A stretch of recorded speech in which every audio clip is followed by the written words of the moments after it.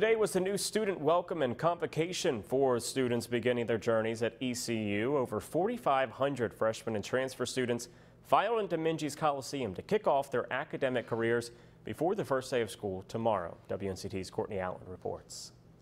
Today, you become a part of a history and legacy that is a beautiful thing. Sunday afternoon, new ECU students received their entering gear pin at convocation to symbolize the start of their time as an East Carolinian. A thing to welcome us into the school. I mean, to show our journey that we're getting ready to go through these next four years. Like, I am so excited. I'm ready. The keynote speaker this year was Lex Gillette, a world record holder and Paralympic medalist who sat in these seats as a freshman in the early 2000s. I'm a 2007 graduate of East Carolina University.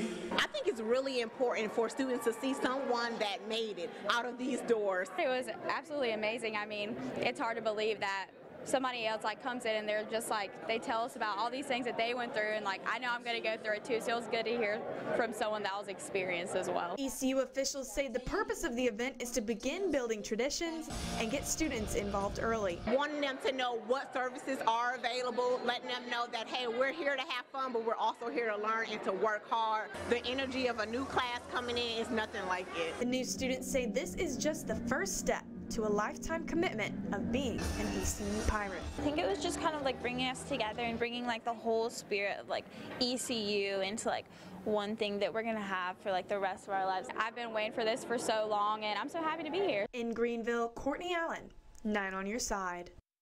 And that ceremony lasted around 45 minutes. It wrapped up with Pirate Palooza, a pep rally over at the football field with music, food, and games. Of course, this all coming before classes start tomorrow. Those begin bright and early at 8 a.m.